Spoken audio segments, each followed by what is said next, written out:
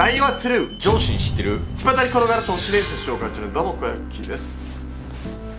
どうもトヨです。ななななな上司ってこういう CM やらへん話してください。やりやりやりやりぽいぽいぽいぽいぽい皆さん新選組というのはまあご存知でしょうかここにね書いてるわけなんですけどはい。はいはい新選組のロゴねうんちょ見たことないロゴ着てるよ新選組の。いやいやこれ正式なロゴなんですよ小池さん。えー、でも俺よく知ってるよこのロゴ。嘘。うん。その証拠にうん。これ見てください後ろ。あはいはいはい誠。誠書いてるじゃないですか。まあはい誠ね。今岡なんですね。今岡誠。阪神の147打点叩き出したスーパースターなわけなんですけど。ちょっと選手古いのよな。うんまあそんなわけで皆さん新選組というのは聞いたことありますでしょうか？とんでもないよ。1分無駄にしました。新選組のこの全体のまあ活動とかっていうのは皆さんも何やってたかあんま知らない人もおると思うんですよまあ知らないと言ってもねもうめちゃくちゃもう歴史の重要な組織であり。そうそう人気ですからね京都の警察みたいな存在だったわけそう治安をね守るね。そうでもやっぱ筆頭はねその起きた掃除だったりだとか、土方さんだったりだとか。近藤勇とかね。そうもう人気キャラ人気な人ばっかりなわけなんですよよねね。僕たちの好きなルロニケンシにもねそうそうそう。斎藤はじめが出てきたりね。ガトツね。そうガトツね。そうじゃないんですけどね。はい。この新選組っていうのは、まあ、幕末にね、まあ、すごい活躍されたわけなんですけど、まあ、幕末言うたらあの黒船ペリーとかがやってきとった時代なわけで鎖国しとった時のお話じゃないな、うん。で、まあ、この日本のトップであるこの天皇っていうのは当時外国人を受け入れませんよっていう,、うんうんうん。長崎以外はもう交易もしてませんよみたいな感じで、で、まあ、初めはその日本の人たちも外国人を受け入れへんよっていう、まあ、いわゆる上位派っていうのが多数を占めとったわけなんですよ、で、まあ、このペリーの開国への軍事力がですね、まあ、あまりにもやっぱ黒船が強すぎて、うんうんああ耐えきられへんわーっていう時に日本は日米崇高中小条約を結んだわけなんですけども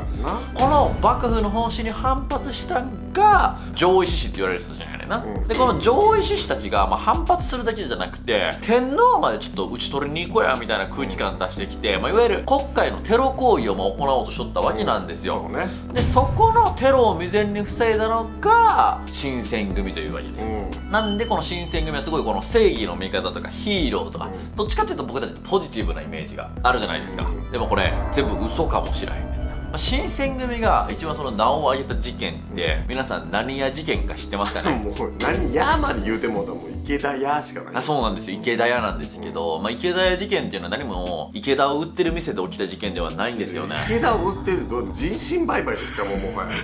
池田屋事件はですね新選組が敵対するこの上位志士のこのテロ行為の会合に突入して見事テロ行為をふ未然に防いだっていうわけなんですそうけども。いわゆるその上司というのが言うたら謙信たちのね。そうそうそうそう。ところですからね。いやそうなんですよ。そうそうそう。その内容っていうのが徳川将軍と京都を守る責任者を暗殺し天皇を拉致して京都を大火事にするっていう、まあ、とんでもない作戦を、まあ、未然に防いだことで新選組はヒーローになったぜっていうことなんやけどこれってね作られた説あるんよ。そうなの？でそう言われるようになったのが、まあこの池田屋事件がねまずそのヒーローと言われるきっかけっていう話なんですけどもこの事件ってじゃあそもそもどういう事件なんかって知らない人のためにちょっと簡単に説明しておくと、まずですねあの沖田総司がよくねあの肺を患ってなんか血吐いてるみたいなシーンすごい有名やったりもするわけじゃないですなんかアか。ニメとかで美形に書かれること多いよな。あそうそうそう、それでああんな吐血しながら戦ってかっこいいキャーってなるわけないけども新選組のこの大使たちがかっこよく剣を振るうっていうのもこの池田屋事件の見どころではあるんですが、まあ、そもそもこの池田屋事件というのはさっき言ったその天皇の拉致とか京都を大火事にするっていうその大掛かりの作戦のためにですね、まあ、その作戦を立ててるところをまあ襲ったっていうところで計画を未然に防いだっていう事件なわけなんですけど、そんだけの大きな事件やったらこの舞台となった池田屋ここにはですねもう入念な計画書とかそういう犯罪の証拠となるものが絶対あるはずじゃないですか。うんまあでも実際池田屋もねもうないしね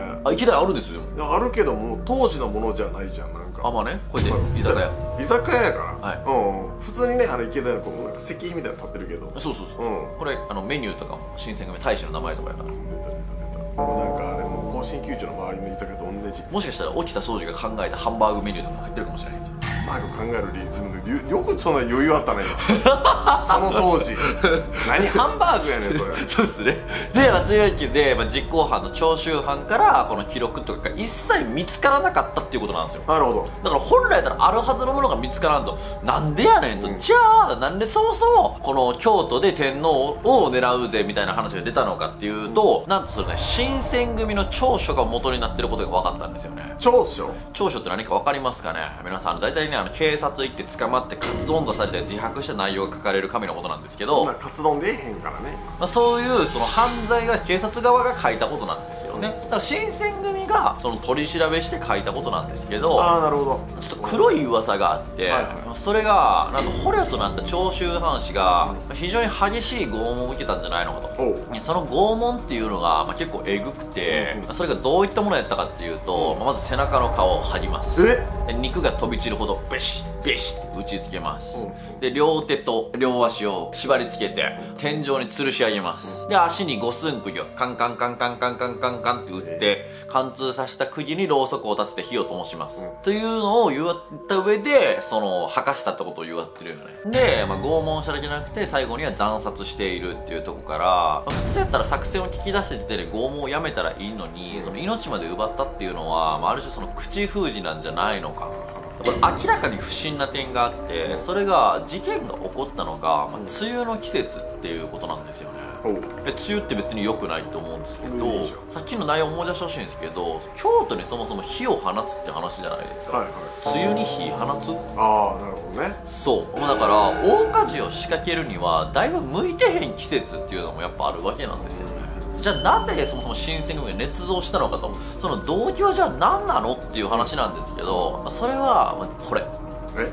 マネ。ー金ですか？金やったんちゃうんかなってことが言われてるんよね、まあ、実際池田屋事件の後幕府とかその配下の藩から1100両もの報奨金を受け取ってると。えすげえそう。もうこれはもう7人の大人が一生食うのに困らんぐらいの大金やったってことが言われてるんですよね、まあ、かなりの大金やと、うん。で実際池田屋事件は自分たちの名誉やお金のため。で同時にこの上位師匠とんでもないテロリストに仕立て上げるための陰謀だったんじゃないのかってことが言われてるんですよね。結構衝撃なんですよ。なるほど。でもまだまだこれ実は衝撃的なことがあって新選組を言ったら皆さん掟があるの知ってますか？起きて。そう。それがまあ曲中ハットって言われるもんなんですけどもその内容は5箇条からなっていて1武士道に背くような声しちゃならない。2新選組を脱退することは許されない。3勝手に人の金を奪ったり借金したりはいけない。4勝手に訴訟を起こしたり関係してはならない。5個人的な争いをしてはならない、おおまあシンプルだけどちゃんと規律がね、はい。ありますよねこれはね。まあ、僕3人違反してるんですけど。もう借金してるからね、で4に至っては勝手にね家庭裁判所から訴えられたりとか地方裁判所から訴えられたりとか大変やったんやけど ちょっと怒ってる。あの新選組はこの局中ハットをまあすごい適用しとってこれを破ったらどうなるかっていうと切腹って言われとったんだえー、厳しい。ただ新選組ってこんな噂もあるんですよね、うん。それが敵対する老子を討ち取った人数がまず26人おるってことが言われるんやけども味方を粛清した数は50人やあれ？敵よりも多いやんけ。そうだからこの局中ハットが適用されて、この殺された人が50人ぐらいいるってことが言われててそんなに厳しかったんだと。うん。じゃあこんな話もあって実際に今この規律を破った人間がおってそれが新選組の参謀って言われる、まあ、伊藤貸太郎さん。近藤派と意見が合わず、まあ、彼は大会しようと隊を抜けようと思ったんですよ。うん。穏便に脱退したんかなと思いきや近藤のね目かきの家から、まあ、帰り招かれてその帰り道に暗殺されてまうんよね、え？で、まあ、遺体はですねこの伊藤派をあぶり出すためかわかんないんですけどそれをなんか道にそのまま捨てられとったらしくてうん。それを引き取ろうとしたやつも全員バサッバサッ倒したらしい。え伊藤派をあぶり出す。つまり当時の局長だった近藤派以外を切り捨てるつもりでやったんじゃないのかなってことを言われる。でもこの話聞いていやいやそれも個人的な争いちゃうのかっていうことがあるんよ。対立にある。でも実はこれ嘘やったんちゃうんかって言われてるえこれもそう？そう。うん。幕末当時っていうのはまあ武士道に背くような行為っていうのはそもそも禁止されてるんですね。うんなるほど。だから脱藩とかしたやつは切腹とかいうのが当たり前やし、うん。金銭とか訴訟とかもそもそも禁止されとったんですよ、うん。何も新選組だけじゃなかったと。なるほどね。そう。うんうんだから実際に新選組に適用されとったのはこの禁令の4箇条と言われとってこの5個目の個人的な争いだけは別に禁止じゃなかったんじゃないのかって言われてるんよね。なるほど。実際、まあ、新選組なら鬼の副長、まあ、土方さんがすごい有名なわけじゃないですか、はいはい局長ハットを考えたのがその土方や言われるんやけど、まあ、そうじゃなくてこの近藤派の人、まあ、もしくは近藤本人が考えたんじゃないのかってことが、まあ、言われるようになったんですよね。なるほど。でやっぱりこの新選組のこの最後の戦いって言ったら皆さん何か知ってますか？ね。最後の戦いって何やろうな。ラスト新選組。ラストシーン何やろうな。残党たちもいたからな。何が最後なんやろ北海道編やねんな。あの逃げ延びてっていうことったらね北海道やけど。函館の五稜郭の戦いが、まあ、史実上最後やってことが言われてて、まあ、鬼の副長土方さんはここで散ったと言われるんですが、この実は北海道っていうのもですね僕らが知ってるような話と違う可能性がある。えなんで？それどころがさっき新選組僕言いましたよね。国家転覆を狙ってたテロリストを、まあ、未然に防いだから、うん。ヒーローになったんやでと、うん。これ新選組自体が国家転覆を狙ってたんじゃないのかって言われているんですよ。やいやいやそれ元も子もないやろ。いやほんまに。え？新選組ってそもそも徳川幕府によって京都を守るために作られた組織なわけなんですね、うん。で近藤たちはその田舎出身の農民やと、で小さな道場で武士になる夢を持っていたから幕府のために武士になれたことが大きな誇りだってことが言われてるんですけど、まあ、実は大政奉還によって幕府が崩壊し将軍が明治政府のもとに下った後も、うん。新選組では戦い続けてるんですよ。あそう。でこの理由としては死ぬ時まで幕府に尽くす新選組であるっていう覚悟の表れやっていう意見があるんですが、実はそうじゃない。日本を乗っ取るためだったんじゃないのかっていう話があるんですよ。なるほどな。でも実際斎藤はじめはねその新選組が終わって明治維新になってまあ、藤田五郎として警察としてね国のために働いてましたけれども、当時の日本っていうのは、まあ戊辰戦争っていうのを行ってたわけなんですよ、はいはい、まあ、これ戦争を言うてるけどその日本がどっか他の国と戦ったんじゃなくて、内戦なんですよね、日本国内で起きたやつと、うん。でしかも最大規模でなんと8000人以上の犠牲者を出してるっていう話なんですよ、で新選組の中心であった近藤土方両名は内戦の中北海道の函館に逃げたってことが言われてるんですよね、うんそうね。で当時この蝦夷と呼ばれていた北海道は、まあ、戊辰戦争にかなりの人員を繰り出していると。でその隙をついた旧幕府軍によって実は新しい政府が作られてたんですよね、うん。それが蝦夷共和国。この明治の初めに明治政府と蝦夷共和国2つの政府が存在しているっていう状態だったわけなんですよ、うんなるほど。で蝦夷共和国でもちゃんと選挙が行われて榎本武雄っていう人が政治家で総裁になってたよね。でこの人が蝦夷共和国の中で選挙で行われて選ばれた初の人って言われてるんよ。で、まあ、実際蝦夷共和国の独自の貨幣とかもあったぐらいで、うん。まあ、しっかり国として運用されとったわけなんよね。じゃあ新選組が北海道をなぜ狙ったかというと蝦夷共和国を使って日本を乗っ取ろうとしたためじゃないかってことが言われてるんよ。で実際この江戸共和国のトップであった榎本さんは戦争の後明治政府に入閣しているんですよね。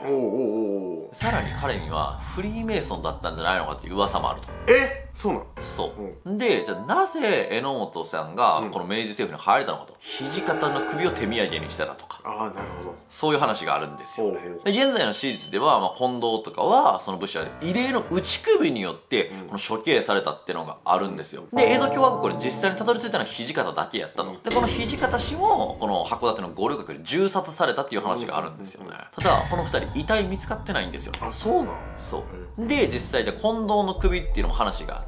ってこの明治政府に権力が移って幕府軍の残りの武士は切腹するように命じられたんよね、でただ明治政府側はこの近藤を捕らえた後に切腹させたんじゃなくて平民と同様に斬首刑にわざわざしたっていう話もあるんですよ。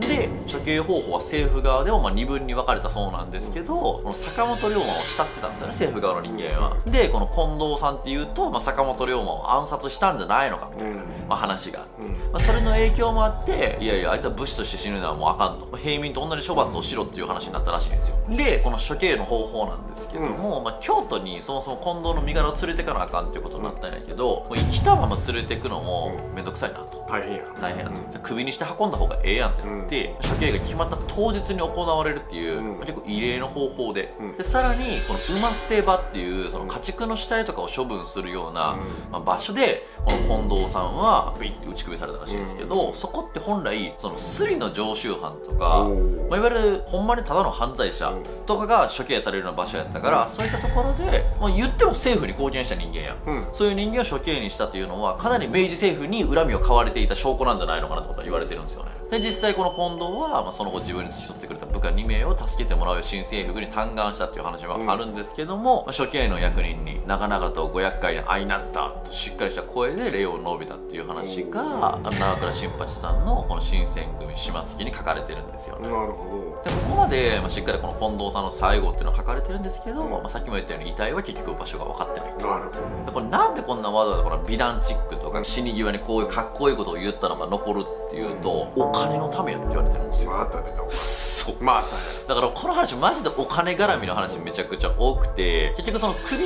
にされて京都に持ってったって話なんやけどもそれもなんか京都にじゃあ首運ばれたと。三条河原で晒し首になったそうなんやけどその後首がどこに行ったかも分かってないと。えなくしたりしていややばいやろと。で土方さんもこの合図に葬られてるっていう話もあるんやけどこれも遺体も見つかってへんと。なぜこんなことになったのかっていう話をすると、まあ、結局さっきも言ったこの長倉新八さんのこの本「新選組天末記」が事実を元にした話も多いんですけど、結局この本をある種売るためだったんじゃないのかなと。でもそのある程度ドラマとかがないと人って買わないじゃないですか、まあ、そのためだいぶ脚色されて、まあ、新選組の真実ってのは葬り去られてしまってるんじゃないのかっていうのがなるほど。ねまあ、今回のお話でしたね。なるほはい。どうでしょうか？どいや面白かったです。はい、それでは本日の鳥肌スコアは新選組。はい。723682やね。それでは本日の鳥肌ポイントは世の中陰謀だらけでわけわからんな。それでは See you 冥王星の降格以降空石の第9番目の惑星。それが惑星ニビルになるというふうに言われているんです。いやいやいや聞いたことあらへんですね。ただねこの惑星ニビルの証明は人類に死をもたらすであろうとニビルの存在を知る人間たちは神のような存在がいることも神話の悲劇が現実に起こり得ることも分かっていたのかもしれません。ただですよ人類滅亡のカウントダウンはもうすでに地球上で起こってしまってるんですよ。地震や異常気象などは人類が地球で生きる以上大きな課題となっていますよね。これらの課題が単なる災害ではなく惑星に見る接近の予兆であるということを告発した人物がいるんです。え